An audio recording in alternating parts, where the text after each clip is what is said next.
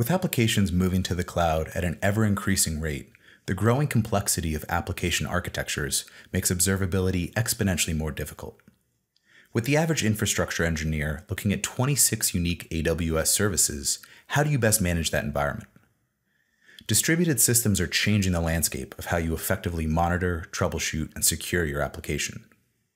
Today I'm going to walk you through Sumo Logic's new AWS observability solution and Root Cause Explorer to show how you can break down those data silos and drastically reduce the time it takes to identify and troubleshoot issues with your application.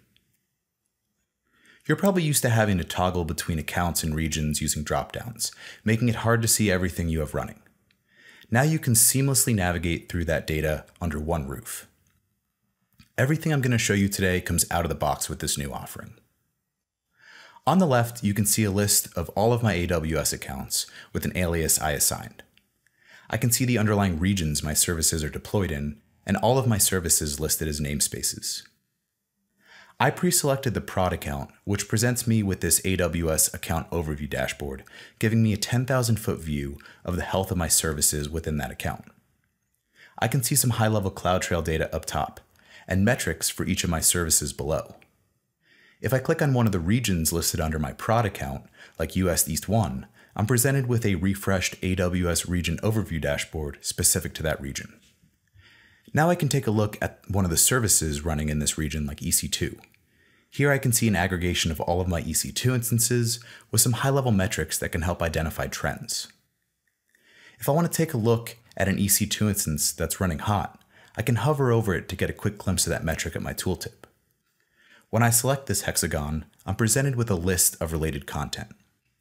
Because we tag each login metric source with metadata, including account, region, namespace, and entity, I'm able to pivot directly into my EC2 logs. I can also select the specific entity under Related Explorer to drill down to a dashboard for that specific instance instead of having to find it in my list to the left.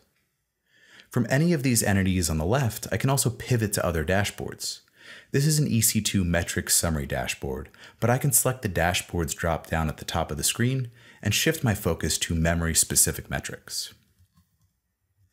Now let's pivot over to the Lambda namespace. When I select that service, I'm presented with an overview dashboard consisting of all of my Lambda functions in this region. Up top, I can see audit information like caller locations and the top services and IAM users using Lambda. I can also see performance information, including invocations, errors, and throttling events, with a comparison of those metrics during the same time window yesterday and one week ago for additional context. A bit further down, I can see the functions that take the longest to run, or the ones that consume the most memory, as well as successes and failures. In the successes and failures section, we can see over 7,800 errors in the last 24 hours, which is unusually high. Moving over to the top messages tab, I also noticed 720 errors for the get billing info function with error messages indicating there's an issue with database authentication for invalid credentials. Looking at the successful versus failed request panel confirms that this function is consistently failing. I want to filter down to just my get billing info function on this dashboard, so I'm going to add it to the filter criteria at the top of the page. This field auto-populates as I start typing it in. Now I can see the most frequent function operations specific to this Lambda function. I see here that there are a number of update function configuration events, which are probably causing the errors we're seeing. Let's take a look at our log search to see some additional details about the update events. Pivoting from the Aggregates tab here to the Messages tab lets me look at the raw log messages.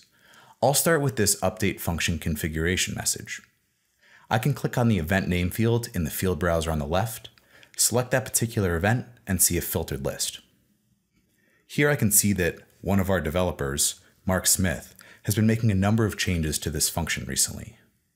Now I can reach out to Mark and have him roll this function back to the previous version to restore it. Next, I want to show you the second piece of the solution, Root Cause Explorer. This new suite of tools can be leveraged to address the sliding scale of complexity as effectively as possible. Root Cause Explorer is designed to help troubleshoot issues in complex AWS environments and is an extension of the Explore tab. In this scenario, we had an incident that impacted some users around 6 p.m. yesterday evening. Opening my load balancer namespace, I can see in the 500 by load balancer panel that there was a significant spike in error messages to our end users. We regularly find that outages are more complex in nature, usually involve multiple services, and the root cause more easily identified by understanding relationships between those services.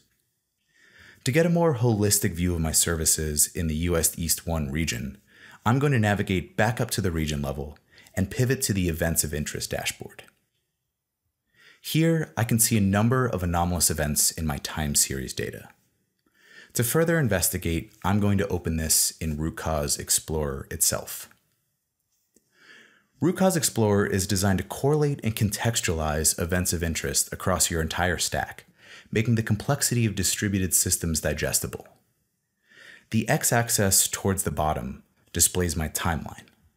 Generally, the earlier a spike started to occur, the more likely that service is going to be a part of the root cause. On the y-axis, I can see how significant the drift was from the norm. The higher the spike, the more significant the problem. Each bubble in this window is color-coded to help you identify the type of event.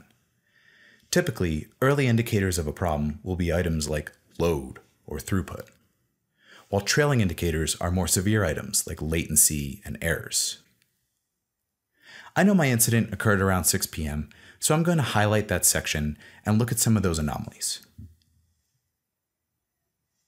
Let's take a look at this DynamoDB bottleneck event to start. In my summary tab on the right, I can see that this metric drift of 1018% above the norm lasted for 10 minutes. If I move over to the metrics tab, I can see the specific metric that triggered this. In this case, it was read throttle events. The light blue time series is showing me today's activity, while the green and darker blue time series are showing that same metric one day ago and seven days ago. This is a key part of identifying an event of interest.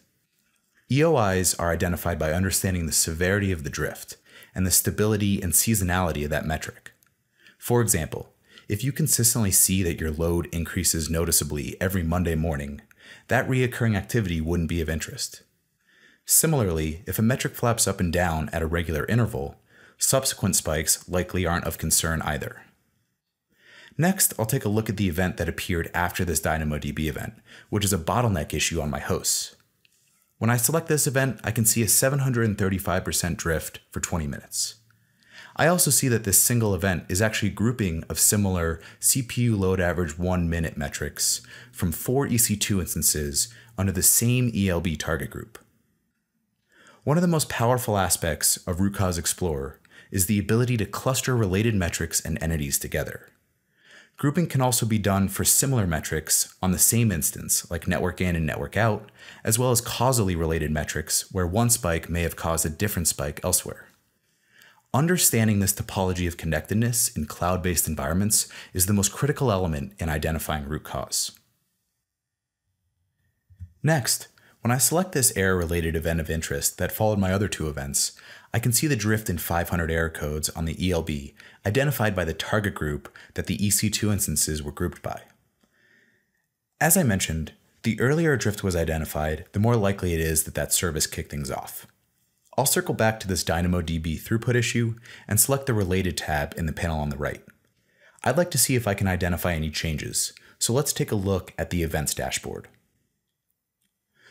You'll notice that when the dashboard opens, it's pre-filtered to the time window that we were looking into in Root Cause Explorer and the specific problematic DynamoDB instance. At the bottom of this dashboard, I have a panel showing all of my table events.